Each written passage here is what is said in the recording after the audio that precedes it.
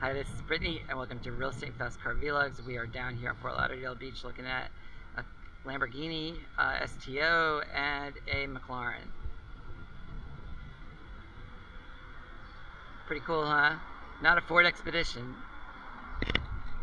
Pretty neat. Don't want to get any closer because they're under guard. Alright.